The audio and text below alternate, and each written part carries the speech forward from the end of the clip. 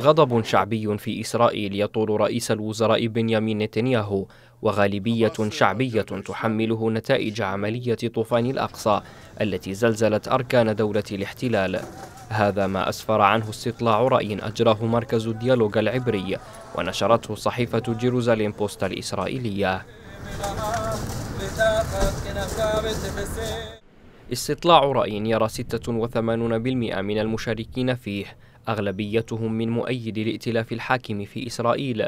عملية طوفان الأقصى فشلا لقيادة البلاد فيما يحمل آخرون حكومة نتنياهو مسؤولية غياب الاستعداد الأمني للعملية التي أسفرت عن مقتل أكثر من 1300 إسرائيلي.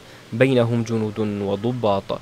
المشاركون في استطلاع الرأي لم يكتفوا بالتعبير عن الغضب وتحميل المسؤولية لحكومتهم بل يريد 56% منهم استقالة نتنياهو وأعضاء حكومته التي توصف بأنها الحكومة اليمينية الأكثر تطرفا في تاريخ الاحتلال الإسرائيلي بعد انتهاء الحرب.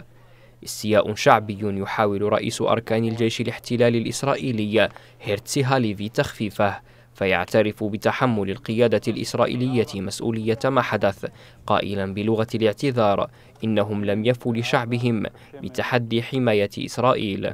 أما نتنياهو فيتحدث خلال استقباله وزير الخارجية الأمريكي أنتوني بلينكن عن أيام قادمة صعبة مطالبا بمنع توفير المأوى لقادة حركة حماس وبفرض عقوبات على من يلتقيهم أو يدعمهم متعهدا بالقضاء عليهم.